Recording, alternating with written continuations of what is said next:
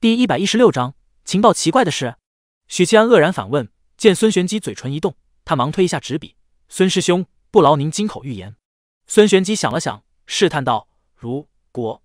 五分钟过去了，许七安打了个哈欠，指一指纸笔。孙玄机叹息一声，再次任命，提笔写道：“我收集了二十道散碎龙器，李妙真、楚元稹和恒远共收集六道龙器，你收集了多少？”十四道。许七安当即道：“他这几天就像得了零花钱的孩子。”每天都数一个铜板都不放过，正好三十道。孙玄机点头，奋笔疾书。那么，没有地书碎片的佛门、巫神教以及乾隆城，不可能比我们收集的更多，对吧？这是自然。许七安点头给予肯定答复。可是，不知道从什么时候开始，我渐渐的找不到龙气宿主了。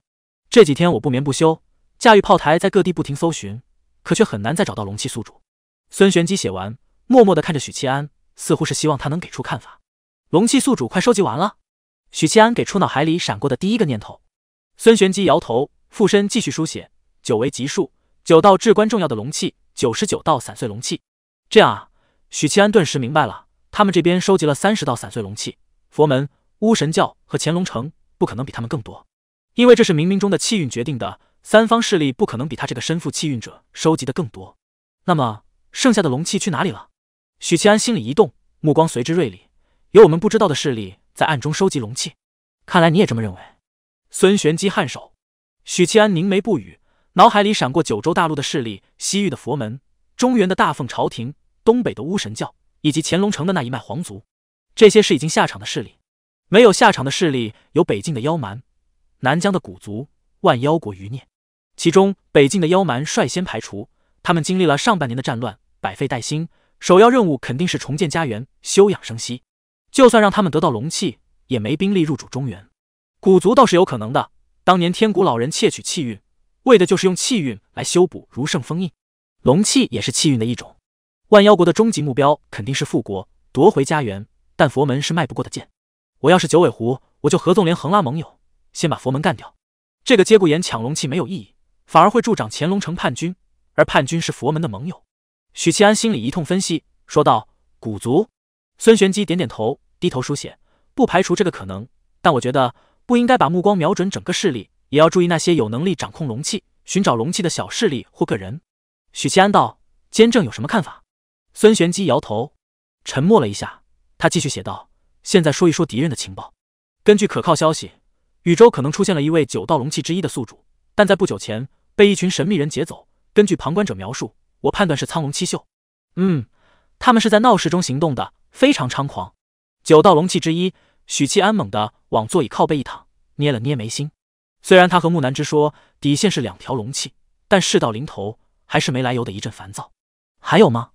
无声的吐出一口气，许七安问道：“东海龙宫的两个姐妹在帮巫神教收集龙气，按理说金香玉三州会有九龙之一的宿主，我们要做好心理准备。”孙玄机在纸上写着。这句话还没写完，许七安迫切追问道：“你为什么不宰了他们？”孙玄机摇头：“不敢。”嗯，许七安用简短的鼻音发出疑问：“双胞胎之一体内寄宿着纳兰天禄的元神，巫师和道门一样，元神为根基，即使没有肉身，战力也不会削弱太多。我和他们在不远不近的距离遭遇过，双胞胎没发现我，但纳兰天禄锁定了我，幸好我跑得快，传送阵真好用。”许七安抬头看见孙师兄脸上露出了后怕和庆幸。纳兰天禄是被魏公杀死的，我是魏公的传人。许七安又捏了捏眉心，我知道了。他缓缓吐出一口气，强笑道：“孙师兄，咱们说一些有趣的事吗？”孙玄机想了想，提笔蘸墨，写道：“杨师弟离京了，监正老师有任务交代给他。这算什么有趣的事？”许七安心说：“我还以为他又双弱被监正镇压了呢。”事情是这样的，杨师弟试图趁老师神游时，在祭天大典上宣布捐出司天剑所有钱财，笔触轻轻游走纸面。许七安看着这行字，心里一连串的好家伙，一旦给他成功，文武百官和皇帝亲眼见证，就算是监正，也很难厚着脸皮反悔。换成其他白衣术士这么干，满朝文武不会信，还会通知司天监把这个神经病弟子带回去。但杨千焕是监正的三弟子，堂堂四品高手，他是能一定程度上代表司天监的。许七安老神在在，因为他知道以老银币的手段，帝王这辈子都没有出头之日。为了掩人耳目，不被察觉。杨师兄以美食诱惑采薇师妹，帮他监视监正老师，但监正老师早有所料，把天机盘交给了宋师弟，一旦杨师弟离开观星楼，便立刻镇压。在这件事情上，宋师弟绝对比任何人都积极。五师妹也在其中立了大功，她向来是很乖的，老师的话她都会听。许七安都听得愣住了，心说这是什么司天监版的无间道？监正有经验了呀，知道用徒弟制衡徒弟。监正给杨师兄的任务是什么？不知，我只知道杨师兄是带着采薇师妹一起走的，他也被发配出去了。除采薇这蠢货，脑子不行就别掺和这种掉脑袋的事嘛。我的情报给完了。孙玄机道。许七安想了想，把浑天神境的事以及自己与九尾天狐的交易说了一遍。孙师兄，你怎么看？孙玄机沉吟许久，写道：“他应该掌控了部分神书的残躯。他的意思是，封魔定只有佛门秘法能解。九尾天狐敢做出这样的承诺，说明他掌控了神书的部分残躯。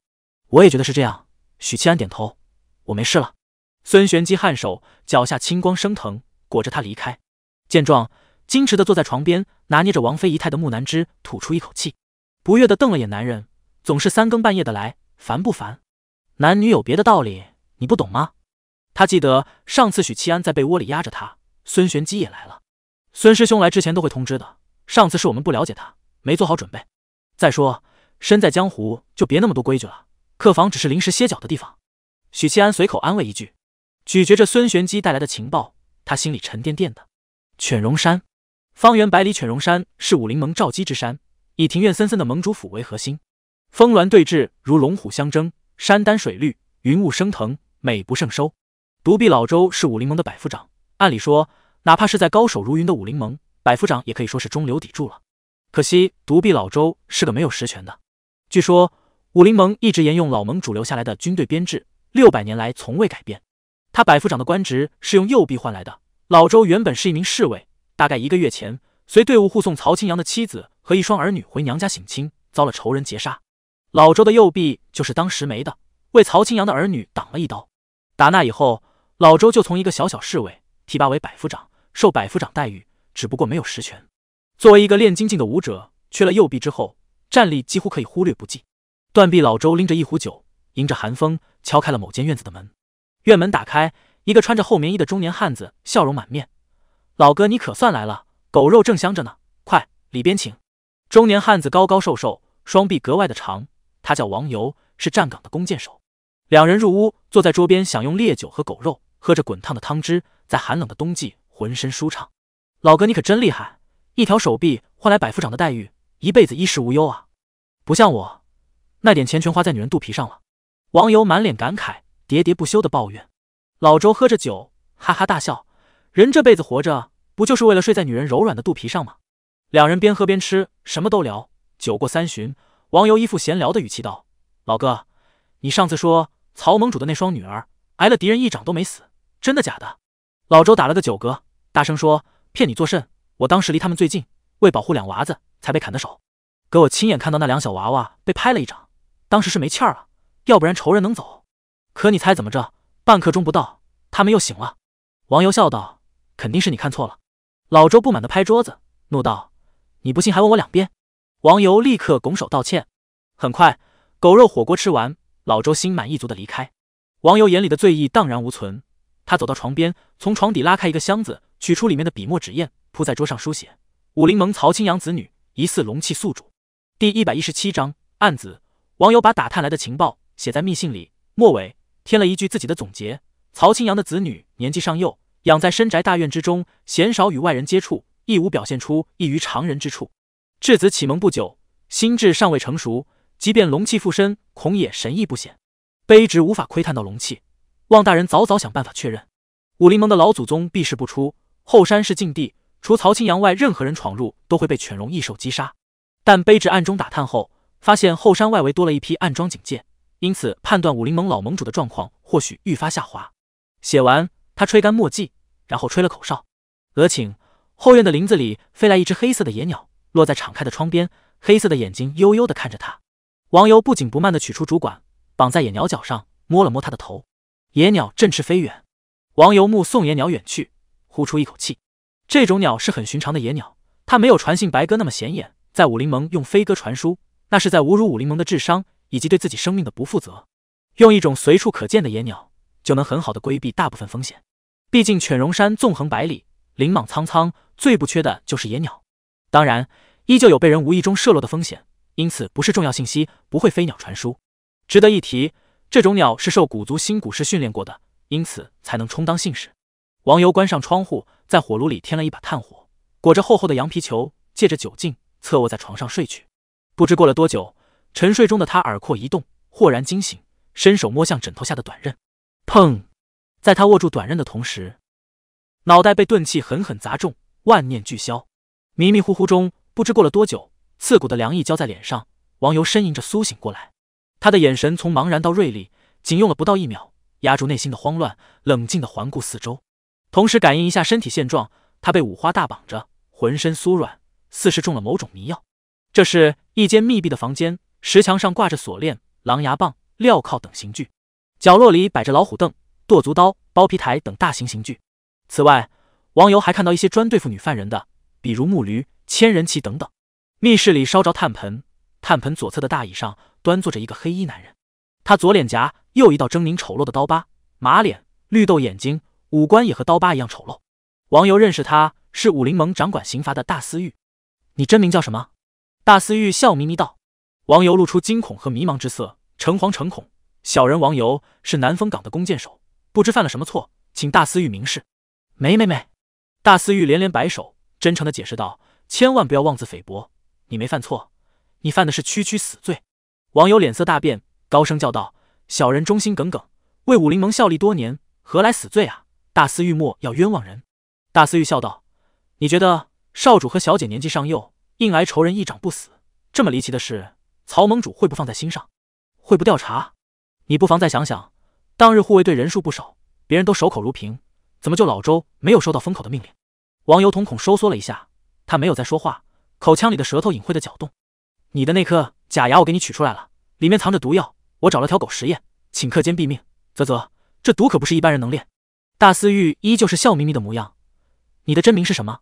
王游低着头辩解道：“小人只是好奇才问的。”老周，司玉大人误会了。大司玉微笑道：“我从不问第三遍。虽然我不喜欢折磨人，但也从不抗拒用一些残酷的手段来达成目的。嗯，相比起寻常的刑罚，我更喜欢另辟蹊径，求变求新，这样才够意思。比如说千人骑这种刑具，同样也可以用来对付男人吗？扒掉他的裤子。”两名下属上前，把浑身酥软的王游提起。让他趴在刑具上，再用绳索将他牢牢捆绑。值得一提，千人骑的模样类似于火炮的炮管。王友咬着牙，一声不吭。他已经知道自己即将面临怎样的屈辱，但接下来大司玉的举动却让包括两名下属在内的三人脸色一变。大司玉拿起炭盆里炙烤的铁钳，轻轻吹了一口，通红的烙铁映照他的脸，嘴角的笑容愈发深刻。王友脸色陡然惨白，两名下属猛地夹紧臀部肌肉。夜色沉沉。寒风凛冽，大司玉披着黑色大氅，带着两名随从于夜色中进入盟主府。堂内得到通报的曹青阳早已等待着，他仅穿着轻薄的蓝袍，魁梧的身躯宛如高山般厚重、沉稳、内敛，方正的国字脸面无表情中透着严肃。盟主，大司玉抱拳行礼。曹青阳抬手示意他入座，让下人奉上热茶。大司玉喝了口热茶暖胃，缓缓道：“查清楚了。”王游是一个隶属于天机宫组织的谍子，七年前被安插在盟中。根据他的交代，是因为上一任谍子死于意外，他才被补充进来。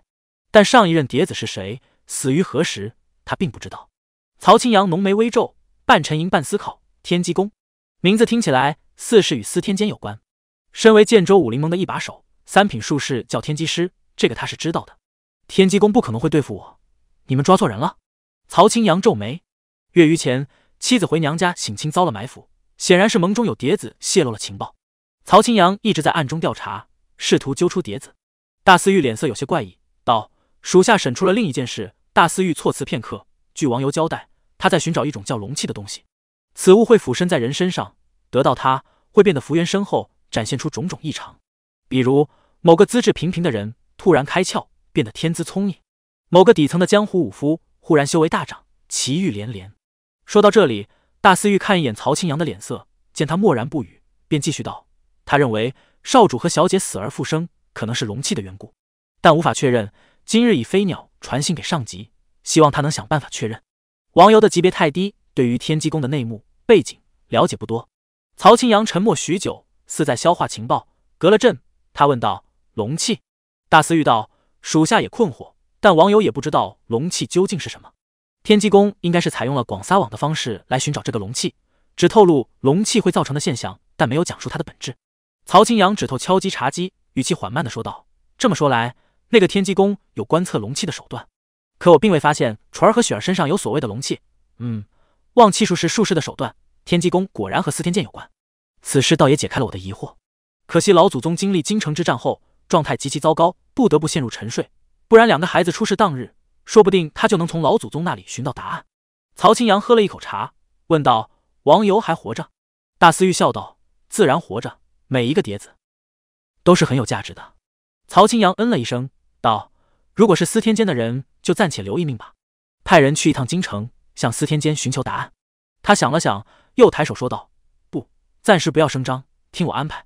先向老祖宗求证一下，了解龙气，并听听老祖宗的意见。此事关乎儿女，他必然要慎重。”大司玉点头，起身拱手道：“属下告退。”曹清扬出了大堂，转入内院，分别去看了看儿子和女儿。他们是一对双胞胎，今年七岁，恰好到了不同席的年纪。曹清扬早年沉迷武道，成为盟主后又操劳于盟中事务，到了而立之年才娶妻生子。虽算不得老来得子，但也是高龄了，因此对双胞胎极为疼爱。内院温暖的大厅里，曹纯腰间挎着木剑，在炭火熊熊的厅内玩耍。乳娘在身后追着，不断提醒他注意炭盆。曹雪则安静的依偎在母亲的怀里，和他一起看画着图画的小人书。见曹清扬进来。曹纯立刻不闹腾，曹雪也从母亲怀里坐直，挺起小小的身板。兄妹俩比较畏惧不苟言笑的父亲。曹清扬脱下袍子，递给迎上来的乳娘，招了招手：“纯儿，过来。”曹纯在他面前站得笔直，叫道：“爹。”曹清扬微微颔首，露出一丝笑容：“许久没有考笑你的剑术了，看一眼他腰间的木剑，给爹耍耍。”嗯。曹纯眼睛明亮的点头，小脸有些兴奋，当即抽出木剑，有模有样的耍了一套剑法。竟有几分凌厉。妻子笑道：“纯儿不知怎么的，突然开窍了。相公，这是不是和你很像？”曹清扬年轻时曾被人嘲笑资质愚钝，连带着上一任盟主也被人暗中耻笑识人不明。他心无旁骛，埋头苦练，每日挥拳八千。很多年后的某一天，他忽然发现自己成了武林盟青壮派里的第一高手，遂成佳话。曹清扬却没有半分笑意，一言不发的披上袍子离开内院。他出了府，目标明确的往后山行去。一肚子的疑惑，想要问老祖宗，龙气是什么东西？为何会在两个孩子身上？司天监对所谓龙气的态度等等。他很快来到崖壁前，来到禁闭的石门前。老祖宗，青阳有事询问。他躬身道，连喊三遍，石门内毫无回应。老祖宗还在沉睡，何时能醒？当日京城一战，让他的状态愈发糟糕了，而许七安承诺的九色莲藕却迟迟未至。曹青阳心里沉重，正要再次呼喊。崖壁上忽然亮起两盏血红灯笼，冷冰冰的望来。曹清阳便知是守护老祖宗的犬戎在让他离开，不要打搅。他无奈的行了一礼，原路返回。江州边界的小城，苗有芳咬着一串冰糖葫芦，道：“我发现边界的难民比其他地方少很多。”李灵素也咬着冰糖葫芦，道：“这是因为此地临近建州，难民都逃到建州去了。”苗有芳满脸疑惑，道：“建州很富裕吗？风调雨顺之地。”自然是富裕的。建州有武林盟，号称建州真正的主人。就算是建州三司，也要忌惮几分。李灵素侃侃而谈：建州江湖极有秩序，匹夫为非作歹会被武林盟以雷霆手段除去，与凶徒聚集的云州恰好相反。同时，官府和武林盟相互制衡，谁都不敢太肆无忌惮。我只听说建州是武道圣地。苗有方不太相信，反驳道：“按你这么说，难道朝廷不管吗？”任由一个江湖势力如此壮大，我听说建州武林盟有一位超凡境的老祖宗，不知是真是假。李灵素笑道：“那你说个屁来！”苗有芳撇嘴，两人展开争执，话题渐渐与偏离，与难民富裕没啥关系了。你要不信，大可问问徐谦。李灵素哼道：“许七安的身份和地位，肯定会这些隐秘有所了解。”苗有芳立刻看来，吃着糖葫芦的木南枝和舔着糖葫芦的白姬。也兴致勃勃地看向牵马而行的许七安，确实有一位老家伙，而且是与国同龄的老家伙。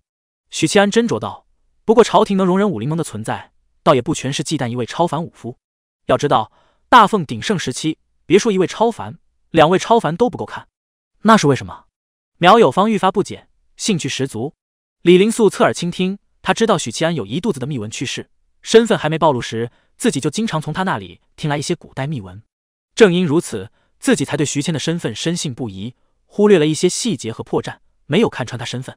许七安道：当年大周末期，群雄并起，一位江湖匹夫在建州拉起一队人马，展开了逐鹿中原的征途。后来各路人马被消灭，统合只剩两支，一支是大奉开国皇帝的军队，一支就是这位建州武夫的军队。彼时大周已灭，中原百废待兴，他不愿再造杀孽，便与大奉开国皇帝约战。胜者入主中原，败者隐退。后来的结果你们都知道，大奉因此而生。当初我听说此事，只感慨高祖皇帝的强大。如今才回过味来，建州这老匹夫其实并没有称帝的念头。他造反，纯粹是因为当时百姓实在活不下去，内心里追求的应该是武道。而高祖皇帝对武道和长生兴趣不大，他热衷于王图霸业。两人追求不同，便注定了结果。建州老匹夫隐退时。高祖皇帝和他约法三章，允许他在建州保留嫡系军队，算是对自己以及后代的一个警示吧。到了如今，当皇帝对建州的态度怎样已经不重要，监正的态度才是关键。建州能延续到现在，是监正默许的。说到这里，许七安叹息一声。现在想来，武林盟也是监正的棋子之一。这老银币不知道他的棋盘里还有多少棋子。天命师是天生的棋手，许七安于心里感慨。云州乾隆城。披着简易袈裟、露出半个健硕胸膛的和尚盘坐在茶几边。你既已谋划了这么多年，应该不会没料到今日。伽罗树菩萨看一眼对坐的白衣术士，他指的是云州此时的困局。监正就堵在云州之外，谁敢出去，谁就第一个死。当然，对伽罗树菩萨来说，硬刚就是了。就算中原是监正的地盘，他也可以横躺。身为掌控金刚法相、不动明王法相的他，一品中能杀他的人不存在。许屏风一旦起事，他会负责缠住监正，许屏风则负责攻城夺地。但伽罗树菩萨觉得，如今许屏风解决不了眼前的危机，那这个盟友未免太过不济。许屏风笑道：“莫急，镇北王和魏渊是监正老师摆在明面上的棋子，他还有很多案子，待我一一拔除。”第一百一十八章：千里之外，一枪取人。案子？伽罗树菩萨分身以一种可知可不知道的轻松语气反问道：“监正老师是天命师，最擅长的便是布局。很早以前。”我认为只要解决掉真德帝的三具分身和魏渊，便能成事。好在我从未小觑过他，无数次闭关推演，逐渐发现了一些隐藏极好的案子。许屏风停顿一下，举杯饮茶，笑道：“武林盟便是监正老师的案子，他便如一支养在江湖的军队，不属于朝廷，却拥有极其不俗的战力。大部分时候，他只是一个江湖势力。可当有朝一日朝廷腐朽，军队不堪，这支休养生息的秘密军队就能发挥至关重要的作用，专用来评判。”伽罗树点点头，武林盟早已暗中投靠了监正。他对这个中原江湖的势力了解不多，武林盟并没有资格入一品菩萨的法眼。许屏风摇头，不，那老匹夫不会投靠任何人。可惜啊，可惜。伽罗树菩萨把玩着釉色艳丽的茶盏，等着白衣术士解释。此人当年与高祖皇帝有过约定，假如哪一天朝廷腐朽，重蹈大周覆辙，他便揭竿而起，推翻大奉。乍一听，似乎是可以拉拢的盟友，其实不是。如今的大奉与当年的大周不同，大周气数已尽，腐朽入骨，早已不可挽回。而大凤在元景被斩后，新君登基，立志革新，在很多有识之士眼中，这是王朝焕发生机的表现。寒灾是天灾，天灾总会过去。况且朝廷也在努力赈灾，说明朝廷并非腐朽到毫无作为。况且在那老匹夫看来，这是大凤龙气流失造成，帮助朝廷找回龙气，肯定比展开一场席卷中原的战争要更好。许屏风提起茶壶，往茶盏里添加热茶，感慨道：“我可惜的是，那老匹夫是个立志武道登顶的武夫，追求不同，便注定了他不可能成为盟友。若是个野心勃勃的，遇到这种大好时机，就绝不会放过，那才是盟友。”伽罗树面无表情的旁听。许屏风挥了挥手，桌上的茶盘、瓷器等物迅速扭曲变化，被生生练成一副棋盘，两盒棋子。他一手挽袖，一手捏出瓷棋子，啪的落在棋盘上。大奉阵营的超凡高手，监正老师、仁宗道手、儒家赵手、许七安，每报一个名字，便落一子。赵守立的命是为儒家肃脊梁，重返辉煌。于他来说，这皇位由谁做区别不大，甚至更愿意看到有人取代如今的皇室，这样儒家读书人才有出头之日。再者，儒家衰弱至今，只有他一位三品参与龙气之争，或许会有陨落风险。他或许不怕死，但儒家却不容他死。此人无需顾虑。许平风把代表赵守的棋子放回棋盒。骆玉衡渡劫在即，虽然当了我的儿媳妇，初步平息业火，但这也意味着他距离天劫又进一步。如今需要平衡日渐壮大的法力和业火，一旦失衡，天劫转瞬即至。把代表骆玉衡的棋子也放了回去。许七安修为尚未恢复，如今至多是三品初期，甚至不如，不足为虑。把代表许七安的棋子轻飘飘的丢回棋盒。武林盟老匹夫本身状态不对，京城一战后，我料他愈发糟糕了。如今怕是处在河道失败的边缘，面临肉身崩溃的危机。那么，想保住武林盟，监正就必须亲自出手。云州的困局自然解了。伽罗树菩萨何时淡淡道：“想来你早已准备好了毁灭武林盟的刀。”许屏风笑道：“此前尚未准备妥当，现在我等来那个时机了。”青州边界城郊破庙，在此地打坐清修数日的静心睁开眼，缓缓起身走出了破庙。他站在院中，无声的眺望。许久后。静元化斋返回，金刚无需进食，但身为四品的他们依旧是血肉之躯，还是得恰饭。师兄弟对视一眼，静心叹息道：“我无法入定了。”静元心里了然，但人问道：“何故？”静心轻声道：“心魔入侵。这段时日以来，我脑海里反反复复闪过雍州城外的争斗，闪过师兄弟们被他一刀斩杀的场景，恐惧和愤怒时时灼烧我的心灵，让我无法平静入定。”静元默然片刻。脸庞冷峻，你许的宏愿是什么？静心不做隐瞒，我选的是杀贼果位。杀贼果位有两个能力：斩断世间一切烦恼，斩杀世间一切敌。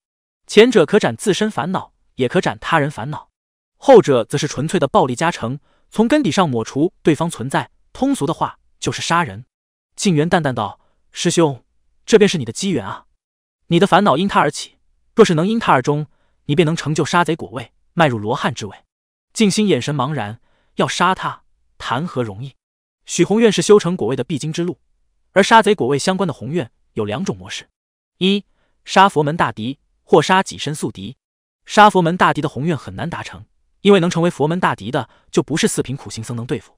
杀己身宿敌同样艰难，既是宿敌，那必是随时会有陨落危险。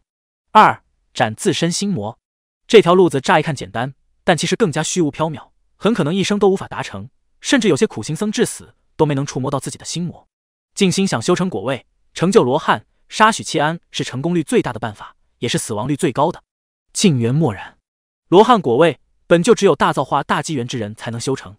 就在这时，一位裹着黑袍、戴着兜帽的天机宫密探沿着山道来到破庙外。静心和静元同时停止交谈，侧目看去。我要见两位金刚。密探说道：“师叔和师傅说的命令来了。”静心双手合十，里边请。密探颔首，大步进庙。小庙不大，青岛的山神泥塑前盘坐着两位肤色暗金、后脑火环燃烧的金刚。公主有密信要给两位金刚。密探自怀中取出信封，恭敬的双手奉上。肚南金刚摊开掌心，让信封自动飞来，落在手掌。他拆开看完，瓮声道：“可还有其他？”密探旋即又摸出一只金属盒子，躬身道：“这是公主让我转交给两位的。”肚南接过。未曾打开，颔首道：“我等已经知晓。”闻言，密探躬身合十，退出了小庙。院外的静心和静元目送密探离开，并肩进入小庙。杜南京刚扫了两人一眼，伽罗树菩萨有令，让我等即刻动身，前往建州灭武林盟。武林盟，身为西域佛门弟子，静心和静元对这个大奉江湖组织实在陌生。杜南金刚没有回答，转而打开了金属小盒，一抹璀璨的金光映入静心和静元眼中。刺得他们下意识闭上眼睛，同时，一股磅礴浩瀚、让人心灵战栗的力量充斥小庙空间，四周空气变得灼热，仿佛直面了火山喷发，肺部火烧火燎。啪！杜南金刚适时合上金属盒子，铭刻在表面的阵法应激生效，屏蔽了这道可怕的力量。这是伽罗树菩萨的一滴精血，可让我或杜南师弟短时间内施展出金刚法相。丑陋的修罗金刚杜凡给出解释：伽罗树菩萨的精血。静心和静元相视一眼，屏住了呼吸。杜南则说道：“那位公主让我们北上禹州，与姬玄等人会合。原来建州还有这段历史，我竟然从未听说。”李灵素恍然咬了一口糖葫芦，不得不承认，对许七安是有些佩服情绪的。此人左国师右王妃，京城还有一众貌美如花的红颜知己，是个人渣。但不管是修为还是见识，都远超同龄人。李灵素作为天宗圣子，骄傲是必然的，也有这个资格。踏入江湖前，他自诩九州年轻一代的佼佼者，是最巅峰的那一小撮人。事实也是如此。然而，这一代的年轻人里出了一个许七安，压得所有青年俊彦黯然失色。即使是成名已久的老一辈强者，也得感慨一声后生可畏。这样啊，苗有芳听得津津有味，道：“以前竟然没有听说书讲过这么有趣的历史。他虽然认字，但读书不多，顶多是启蒙而已。大部分文化知识是从说书先生那里得来。”就如当年的山海关战役，至今还有一些酒楼茶馆在老调重弹。苗有芳从说书先生那里听来许多野史、正史，就认为说书先生嘴里有着所有历史。你知道刚才徐谦说的东西有多隐秘、多重要、多有价值吗？李林素嗤笑一声，习惯性的斗嘴抬杠。你又知道了。苗有芳也习惯性的斗嘴，然后道：“说说看。”李林素哼道：“这些隐秘未必有用，但绝对是层次极高。”不具备一定地位的人无法接触的内幕，这有助于你看清世界的本质以及自我沉淀。哼，现在的你满嘴的他奶奶、本大爷、睡女人等粗鄙之语，奈何本人没文化，一句卧槽行天下。许七安内心做出总结。苗有芳不以为意，武夫不就是粗鄙吗？李灵素一时哑然，竟无言以对，默然片刻，才说道：“但你现在不同，能给徐谦当随从是你人生的转折点。”若是继续粗鄙下去，终究难登大雅之堂。苗有芳看一眼许七安，不抬杠了，沉吟道：“那我该怎么改变？”许七安笑道：“首先要注重涵养，不要满嘴粗鄙之语。比如把你是人渣改成你是李灵素吗？人渣竟嘲讽我是人渣。”李灵素呵呵道：“徐前辈可真谦虚。”许七安指了指圣子，看着苗有芳，看这又是一个例子，学学人家。小白狐旁听了三个人族雄性的相声，昂起脸看着木南枝，娇声道。咦，我也要学吗？木南枝撇嘴，你会学废的，别搭理他们。许七安笑盈盈的回眸看一眼花神转世，后者用明亮水润的眸子反瞪他。你对建州这么了解，以前游历过建州？许七安问出了一直以来在意的问题。李灵素点点头，建州离天宗不算太远，我和师妹下山后，第二站就是建州。天宗离建州不远啊。许七安默默记下，继续问道：那有没有相好呢？李灵素避而不答。这反而让许七安有些好奇。李灵素从不认为自己是渣男，因此在乱搞男女关系上没有太大的避讳，鲜少有这般讳莫如深的态度。正常的情缘肯定不止于这样，看来是一场不太好说出口的爱情。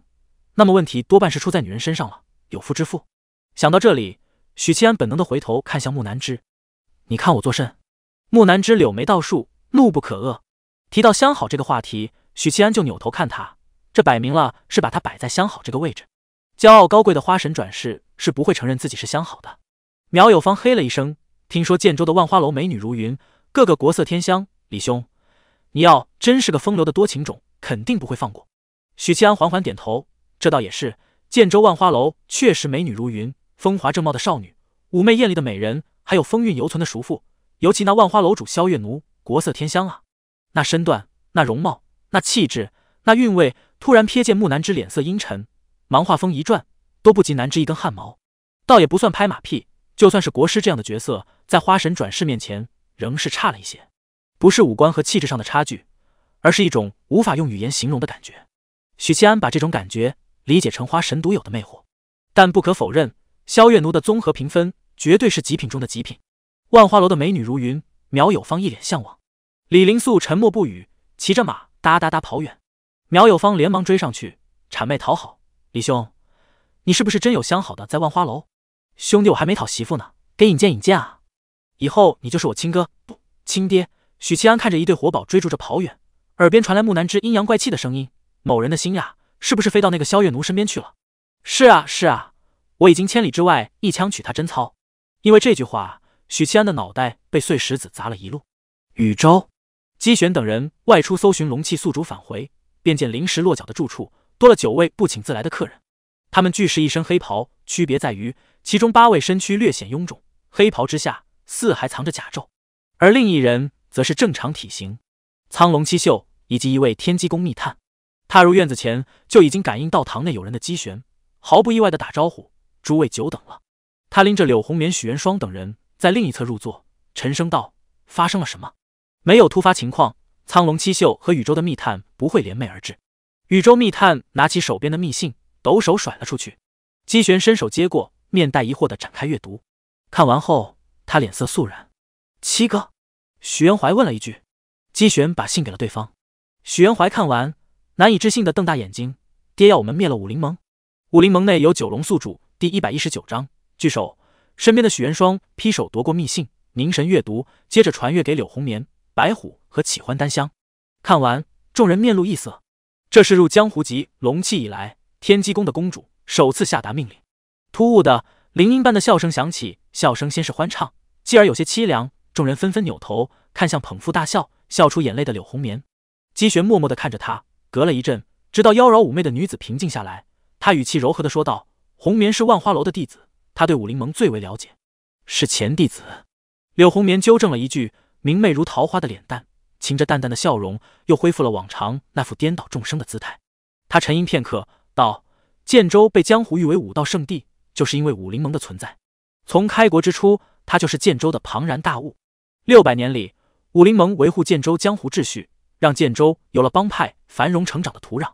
时至今日，建州江湖排得上号的帮派都是武林盟的下属。柳红棉扫了一眼在座众人，继续道：“武林盟的附庸势力里有九个门派最为强大，分别是神拳帮、万花楼、墨阁、千机门、神行宗、铁衣堂、羽山、白鹤观、建州商会。这些势力的祖师，要么是武林盟里出去的，要么是在武林盟的扶持下开宗立派。几百年来。”与武林盟同气连枝，至于小帮小派的，我便不赘述了。许元怀沉声道：“这些帮派里都有四品高手。”柳红棉颔首：“至少有一位。”众人顿时沉默。撇开苍龙七秀不说，若是仅凭他们，根本不用武林盟亲自出手，麾下的众帮派就能让他们灰飞烟灭。而且附属帮派里肯定还有其他高手，只要没到超凡境，车轮战是可以有效杀死四品的方式。断臂的白虎则道：“说说武林盟总部的情况。”闻言。众人目光聚焦在柳红棉身上，包括苍龙七秀。武林盟在犬戎山山脚下有一座军阵，号称有两万重骑兵，但其实最多八千骑兵，而重骑不会超过四千。两万兵马是当年老盟主的嫡系部队，当然已经更新换代不知道多少次。柳红棉边回忆边说道：“除军队外，武林盟内部的高手不好统计，就算是我也无法准确判断。我认为真正值得重视的是曹青阳和老盟主。”曹青阳在江湖百强榜中排前五，半步超凡。单打独斗，我们中任何一位遭遇他，都是死路一条。至于老盟主，虽然江湖上不少人认为他的存在是武林盟制造出的噱头，但以我们的层次，自然知道他是真实存在的。不过老盟主数百年来从未露面，此前我不知道这是为何。如今看了公主的迷信，才知事情原委。介绍完建州江湖的情况，他不再说话。我们需要更多的人马。姬玄冷静地做出判断，他看向宇宙密探。道传信给东海龙宫的东方姐妹，还有两位金刚，于此地议事，让他们速速赶来，越快越好。今日休沐，许二郎骑乘快马出城，一个时辰不到，抵达了京郊的云露书院。他快速登山，穿过书院，径直来到后山竹林。院长，辞旧拜见。许新年在竹楼外作揖，他脚下青光一闪，人被带到了竹楼内。雅致整洁的竹楼里，赵守一人端坐在岸边，手里品着香茗，对坐的位置。已经有一杯热气腾腾的茶，许新年知道这是给自己准备的，也知道这是赵守给出的态度。原本以他的身份没资格和赵守平起平坐，不管是修为还是师长的身份，在赵守面前，许慈就都应该站着。多谢院长。许新年作揖，坦然入座。两件事要托你帮忙。赵守放下茶盏，目光温和，替书院呈一份折子上去，替我约王真文午后喝茶。许新年目光闪烁，略作迟疑。好。江州边界，小母马甩着马尾，低头嚼着木桶里的金饲料。两边的两匹公马对他的饲料垂涎不已，把脑袋探过来，试图分一杯羹。每每这个时候，小母马就会甩动脖子，给对方一个头锤。西边的篝火前，木南枝在架起的铁锅里翻炒着野菜，许七安剁着山林里打来的野味，李灵素则在蹲在溪边清洗食材。苗有芳没有干活，他在不远处打拳，浑身大汗淋漓。铜皮铁骨之后，就是五品化境。这个境界最大的特点就是从吐纳气机回到打熬气血。许七安一边片肉一边传授，但和练精进时纯粹的打熬气血是不一样的。你需要用心的感悟身体的律动，完美驾驭力量。苗有芳手脚不停，高声回应：“我已经能驾驭了。”李灵素吃的笑道：“你还差得远，你一个道士懂个屁！”苗有芳骂道。李灵素不理会他的脏话，说道：“人生而能控制自己的手脚，驾驭身体，但这是对身体最浅薄的运用。”常人能发挥肉身的力量不足十之一二，危机关头会爆发出无与伦比的力量，便是最好的证明。五品化境的精髓就是掌控这些无法掌控的力量。我说的可对？徐前辈，许七安点头赞同李灵素的话，补充道：“这个境界无法速成，也无法用资源去堆，靠的是个人天赋和顿悟。越往高品级走，越需要机缘和悟性。各大体系都是一样的。不过先辈的经验能让你少走很多弯路。我建议你除了打拳外，每日坚持不懈的冥想、锤炼元神。”苗有芳问道：“为何还要锤炼元神？不是打熬肉身吗？”许七安笑道：“因为身体是受大脑操纵的，脑子开发的越好，对身体的驾驭能力越强。”苗有芳似懂非懂，李灵素则若有所思。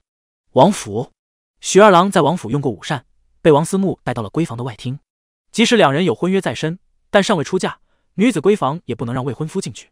外厅摆设奢华，铺设昂贵，第一博古架上摆着各种古玩珍品。墙上挂着名家字画，王思慕才情极高，秀外慧中，与他相处总能感觉到愉快。偶尔也会向情郎发发小性子，好在二郎不是以前的钢铁直男，还是会哄几句的。等春季过去，林月妹子应该就十九岁了吧？王思慕笑盈盈的问道。许二郎心里想着事儿，心不在焉的点一下头，也是到婚嫁的年纪了，可有定亲呀？王思慕又问。在大凤对于女子婚配的年纪，平民通常是十四岁以后。达官显贵家庭则在十六岁以后，最迟不能超过二十二岁，否则就是大龄剩女了。许二郎看一眼二十一岁的未婚妻，道：“不急，再过几年吧。”王思慕笑着点头，补充一句：“等我们成婚后，他能挑的夫婿就更多了。”王思慕的思路很清晰，将来嫁入徐府时，一定要把许灵月嫁出去。单单是一个许家主母，就给他巨大压力。若是再让那个喜欢装可怜扮柔弱的妹妹横插一脚，自己将来的地位堪忧。当然。王思慕也不是个好斗之人，嫁人就是为了宅斗，他只是想减轻自己身边的威胁，尽量不受人钳制。许二郎嗯嗯啊啊的敷衍了片刻，道：“我还有事与王首府商量。”王思慕点点头，柔声道：“爹似乎病了，前阵子一直在咳嗽，人也昏昏沉沉的，总是发呆。”许二郎一愣，关切道：“找司天监的术士看过了吗？”王思慕叹息一声：“司天监的人说，爹是积劳成疾，忧思太重，需要静养。”另外还染了些风寒。以前魏渊在的时候，他斗志昂扬；现在魏渊死了，他没了政敌，那股子劲一下子泄了。原本还可以一展抱负，谁知灾情汹涌。许二郎神色沉重的点头，从未婚妻住处离开，他轻车熟路的来到王首府书房前，叩响了门。得到允许后，推门而入。王首府抱着热腾腾的茶盏，坐在案后，身前空无一物，刚才似乎在坐着发呆。首府大人，院长想见你。许慈就开门见山。王首府定定的看了他片刻，淡淡道：“没什么好见的，我已没精力替他周旋，更没那个兴趣。新君登基，他云麓书院想借此重返庙堂，这势必会造成朝野动荡，引来文官的抗拒。在这个节骨眼上，你该知道这意味着什么。”许二郎沉声道：“云州叛军蓄势待发，云麓书院若是能重回庙堂，无疑是极强的助力。”王首府摇头：“朝廷现在需要的不是他云麓书院的那群清流。”是银子，是用不完的银子。你去告诉赵守，如果他能让国库多五百万两纹银，老夫的位置拱手相让。抵触云麓书院读书人是天下士子的共识，是文官的共识。若是放开这个口子，你猜那群文官会不会逼宫？那么谁去赈灾呢？许二郎叹口气，我明白了。第三日，他请假未去翰林院，前往云麓书院复命。王首府虽然没见院长，但把折子递上去了。只是陛下，他没有理会。许二郎道：“罢了。”赵守叹息一声，望向京城方向：“我对永兴已经仁至义尽。”此时的许二郎还不明白这句话所代表的意义。月朗星稀，寒风凌厉，一艘飞舟穿梭在云雾中，缓缓停泊在巍峨雄城的上空。东方婉容傲立船头，秀发与裙裾飞扬。师尊，禹舟到了。小院里，姬玄正在招待杜南、杜凡两位金刚，不知两位金刚可有寻到九龙宿主？姬玄望着坐在上首的佛门金刚，试探道：“杜南微微摇头，修罗金刚则闭目不语。”姬玄笑了笑，没再说话。他知道自己的身份不足以让两位金刚重视。静心说道：“姬玄施主，你让我们等的盟友是谁？”姬玄如实回答：“巫神教之人。”杜南金刚睁开看他一下，继而合谋，未曾发表意见。武僧静元眉头微皱，届时龙气如何分配？与乾隆城合作是佛门高层的决定。龙气即使归乾龙城所有，他也没有意见。但巫神教与佛门的关系还没到这一步。姬玄正要说话，忽然扭头看向院外，静心、静远等人同步做出类似的动作。额请小院两扇破旧的木门敲响，柳红棉扭着腰肢前去开门，门口站着以东方姐妹为首的东海龙宫一行人。姬玄起身相迎，笑眯眯道：“两位公主，请进。”第一百二十章对弈。东方婉容微微颔首，目光掠过姬玄的肩膀，望向堂内众人，同时脑海里响起纳兰天路的声音：“那八人有些古怪，气息宛如一人，似超凡又非超凡。”东方婉容稍加判断，明白纳兰天路口中的八人是哪几个，因为他们都裹着相同的黑袍。好漂亮的双胞胎！柳红棉审视着姐妹花，眼里闪过诧异。她自认是极为出挑的美人，哪怕在万花楼这样一个美女如云的门派，姿容也是拔尖的。眼前这对姐妹花。任何一个都不能让柳红棉惊艳诧异，但双胞胎站在一起，便仿佛有了质变。尤其她们一个娇媚，一个清冷，相辅相成。堂内众人的态度与柳红棉差不多，都被这对双胞胎姐妹花惊艳了一下。这里面包括冷峻少年许元怀、南疆古族的启欢丹香，以及妖族白虎。东方婉容看向姬玄，媚笑道：“阁下是？在下姬玄，乾隆城城主之子。”姬玄拱手道：“东方婉容早已从老师纳兰天禄口中知晓。”乾隆城是一个什么样的地方？微微颔首，他率领东海龙宫教众进入院子，让他们在院中列队，自己和妹妹东方婉清进入堂内，拜见两位金刚姐妹俩，恭敬施礼。两位小师傅又见面了。东方婉容笑盈盈的朝着静心、静远打招呼。等各方互相打过招呼，姬玄接过话题道：“大致的情况，天机宫的密探已在密信中阐述明白。两位公主有什么想问的？”东方晚清默然不语。姐姐东方婉容说道：“为什么武林盟会出现两条龙气？九龙之二同时出现在武林盟，这是一个很奇怪的现象。”静双手合十，猜测道：“或许是龙气之间相互吸引的特性。”东方婉容皱了皱眉，显然对这个回答并不满意。这时，许元霜淡淡道：“并非是龙气相互吸引的特性，龙气是气运的一种，它有自我意识。这种意识不是我们理解的心灵意识，更像是一种天地法则。气运是民心所向凝聚而成，所以。”龙气会本能的寻找一些声望极佳之人或受到供奉之物寄宿。建州武林盟风评极好，充当着维护秩序的角色。再加上武林盟老盟主的背景，诸位觉得如果没有外来势力的干扰，中原大乱最有希望逐鹿中原的势力是哪一支？毫无疑问是武林盟。东方晚清问道：“不对，我在收集龙气的过程中遇到过许多奸诈之辈。”许元霜想了想，道：“首先，人性复杂，即使是一个烂赌鬼。”他或许也会有帝王资质。其次，自古以来称王称帝者，有几个是忠厚老实之人？龙气择主，若是依照个人品性来定，那纵观古今，便没有一个开国皇帝是合格的。东方晚清不再说话，反倒是柳红棉皱了皱眉。那当日龙气溃散时，为何没有选择寄宿在许七安身上？论及声望，他比武林盟任何人都强。许元霜淡淡道：“因为他本身就是被打散的，龙气是中原气运凝结而成。”打散之后，自然还于中原。东方婉容颔首，对他的回答还算满意，审视着清冷的少女，道：“你是个术士。”许元双不说话，默认了。东方婉容扫了一眼乾隆城众人，又问道：“事成之后，龙气如何分配？”姬玄给出回应：“各取一条。”见东方婉容没有反驳，他接着说道：“两位公主对武林盟有多少了解？”东方婉容道：“正要请姬公子说明。东海龙宫不在大凤境内，与姐妹俩来说。”武林盟是一个完全没有利益冲突的中原组织，因此只是略有耳闻，详情不知。柳红棉充当解说员，详细告知了武林盟的情况。这听得东方姐妹连连皱眉。姬玄说道：“武林盟势大，因此需从长计议，这也是我邀请两位公主面谈的原因。那么，让我们来做一番推演吧。首先是曹清阳，此人为半步超凡，苍龙七秀能轻易搞定。但考虑到建州江湖的中高层武夫数量太多，若是与曹清阳联手，大概能打个平手。他看向苍龙七秀，苍龙的兜帽里传来嘶哑的声音，无法准确估量，但胜算极大。此中战力不好估算。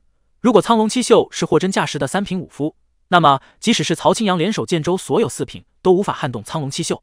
但己方同样是剑走偏锋的路子，只有三品武夫的战力，却没有相应的防御、血肉重生能力。这样的话，容错率就很低了，而且无法判断武林盟没有合击阵法辅助，因此。情况到底如何？打了才能知道。姬玄颔首道：“接着是犬戎山下的军阵，两万人的军队足够磨死四品。山海关战役中，不少四品武夫都是死于力竭。”白虎沉吟道：“把战场选在犬戎山便成，可有效遏制骑兵的优势。而且山中作战，我们还可以借助地势制造滚石，这对凡人士兵来说是毁灭性的灾难。启欢丹香则说：“我可以操纵毒虫肆虐，毒杀士兵和普通帮众。不过，单凭我们几个四品，纵使手段再多，依旧不够看。作为问鼎建州六百年的江湖势力，岂是区区几个四品能应付？主力当然不是我们。”姬玄笑了笑道：“武林盟的老盟主闭关多年，我得到可靠消息，他如今状态极其糟糕，早已不足为虑。但我们要防备的是另外一个人，一个让人战栗的对手。除两名金刚外。”在场众人表情出现不同变化，姬玄团队的人以畏惧为主，静心和静元脸色阴郁了几分，东方姐妹则满脸愤懑。就是那个人抢了他们的男人。姬玄一见众人表情，便知不需自己解释，沉声道：“许七安本身是超凡境，但不负巅峰，他的战力可以一定程度的估算，雍州城外展现出的实力应该不弱于曹青阳。杜晴罗汉被擒后，他的封印应该进一步解除，保守估计堪堪到三品吧。”这样的修为不足为虑，一位金刚出手便能压他，但他身后可能牵扯出的人物却让人极为头疼，比如骆玉衡，比如天宗。许元怀眉头一皱：“我爹的迷信里说了，骆玉衡多半不会出手。至于天宗的两位阳神，行踪飘渺不定，难以预测。”柳红棉看着东方姐妹，似笑非笑道：“两位姐姐有什么底牌？”东方婉容头顶飘起一位白发白须的老者，平静的俯瞰着堂内众人，温和道。若是天宗阳神现身，由我来对付。纳兰天禄、静心、静元心里一凛，他们身后的两名金刚相视一眼，脸色也随之沉重。姬玄试探道：“纳兰与师？”老者微笑颔首。姬玄吐出一口气：“那晚辈就放心了。其实，天宗的两位阳神不可能一直跟随着许七安，上次的出手大概是巧合。他猜对了。而且，许七安现在未必在建州，也未必知道建州武林盟有两道龙气，我们只是预防罢了。”相比起制定完美无缺的计划，我认为我们首要的任务是速战速决。姬玄侃侃而谈，思路清晰，以迅雷不及掩耳之势杀上犬戎山，灭了武林盟，随后再把附属门派连根拔除。武林盟，曹青阳这几日处在焦虑和忐忑情绪中。上次拜见老祖宗未果，次日他便派人去了京城，向司天监坦白龙气的事。理由很简单，龙气明显是瑰宝，有着超越常人认识的神效，而网友已经交代清楚。他在被俘虏前便已把信息传播出去，那么司天监的人迟早会来兴师问罪，讨要龙气。曹青阳就算再自傲，武林盟就算再强，也没底气和司天监叫板。既然这样，还不如坦白一点，这样有讨价还价的余地。比如取出龙器，会不会危及子女性命？同时，他还让信使给许七安捎了一封密信，希冀他能从中斡旋。孙玄机返回司天监，没有去八卦台见监正老师，而是找到了宋清。炼金狂人正带着师弟们搞研究，他目前正在努力炼制一种质地轻薄柔软但防御强悍的金属，这能有效减轻士兵们行军的负担，整个带弹时睡得也更安稳。甚至以后可以制造成马甲，让骑兵既拥有超高的机动性，又能与重骑兵抗衡。但是宋清失败了，这个实验的成果只是加重了他的黑眼圈。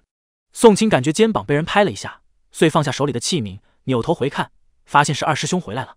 孙师兄，你回来了。宋清扭回头去，一边摆弄着金属疙瘩，一边说道：“昨日有个自称武林盟的江湖人来司天剑，自称武林盟里有龙气宿主。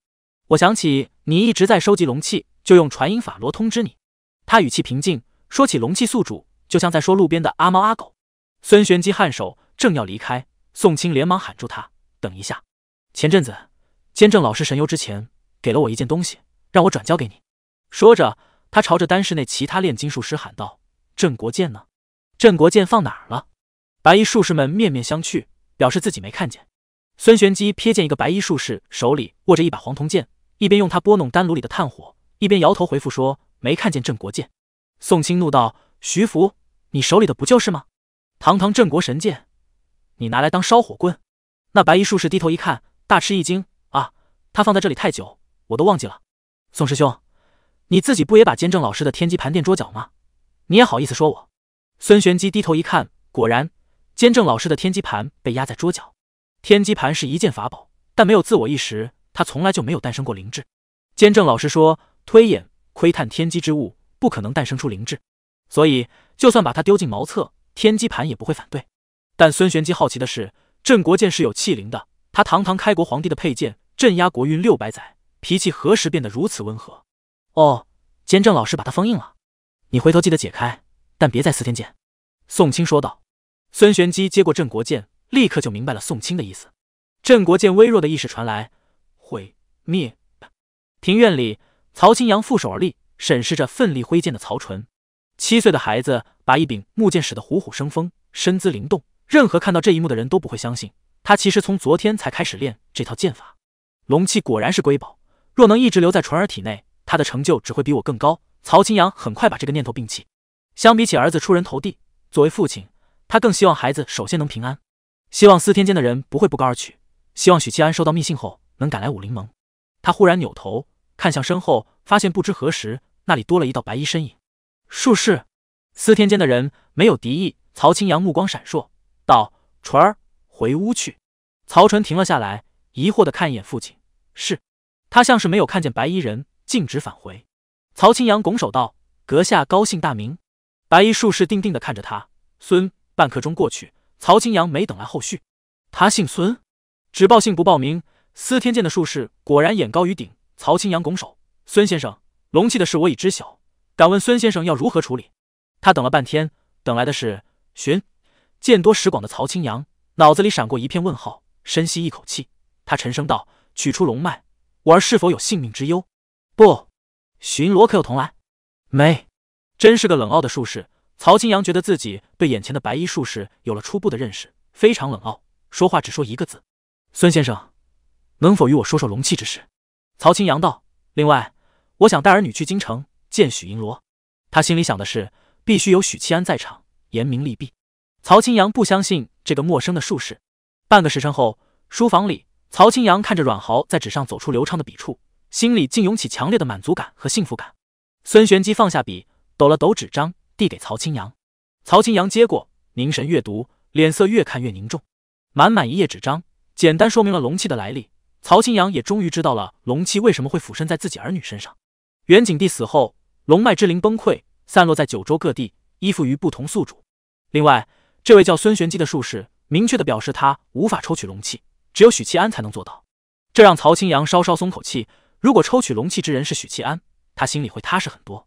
接下来的内容才是让曹清阳脸色凝重的原因。目前正在收集龙气的还有巫神教、天机宫以及佛门这些势力，试图染指中原。如今极有可能已经把矛头指向武林盟。老祖宗状态糟糕，沉睡不醒，如何御敌？曹清阳心头沉重。曹盟主，请做好迎敌准备。孙玄机写下这句话，起身作揖，脚下青光亮起，消失在曹清阳眼前。他要去找许七安了。